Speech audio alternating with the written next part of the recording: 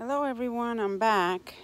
So I am, I just finished um, filling my flower bed and I did a layer of cedar on the bottom and then I did a mix of mulch and um, potting soil mix and planted it. And I also did uh, mix some neem cake meal into the dirt as well. What I have here, another, some more cedar mulch that I'm going to layer this, and it's going to serve three purposes. It's going to keep the moisture in, it's going to hold the moisture in, and it's also going to help um, for the cats not to use my flower bed as a kitty litter.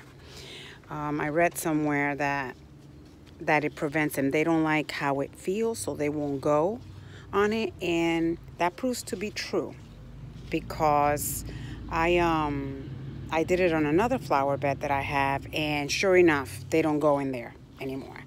The other purpose that it serves is that it keeps most of the bugs out because they do not like the smell of it. So um, I will get back with you and I'm going to continue putting on some of this mulch here, the cedar mulch, and covering it and, and see how it does. Um, my tomatoes. It's all I have here for now. But anyway, just wanted to share. We'll talk soon. Bye.